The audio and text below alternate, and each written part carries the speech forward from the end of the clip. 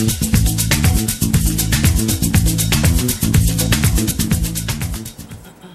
everybody, welcome to my kitchen, welcome to my channel, What to Cook.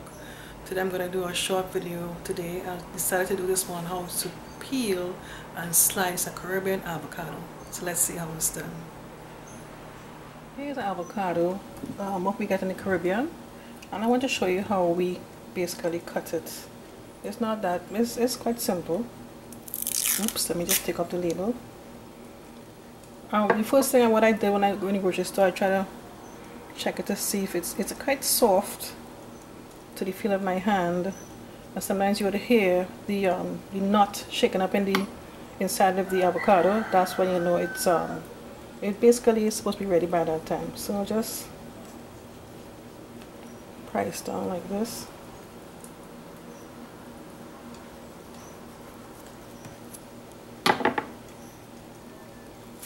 It up like that.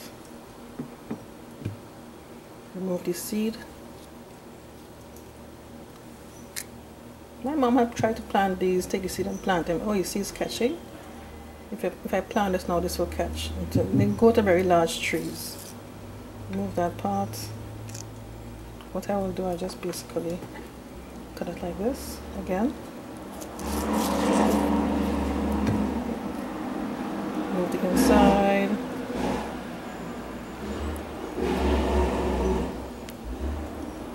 again. To like serving slices.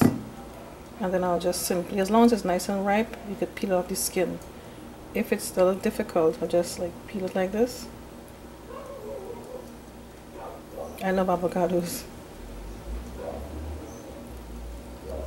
I'll just peel it like that. Get off the skin. Sometimes you just use your fingers and peel off the skin. Sometimes it's just a little difficult but I don't think it's purely ripe so that's basically it. And you serve your slice of um, avocado like this? Um, if you I, I suggest that if you're not going to use it right away don't cut it. Or if you do have any cut just sprinkle a little bit of lime juice over it and it will keep it from you know getting black and stuff. So um, that's the best way to keep it like that. Okay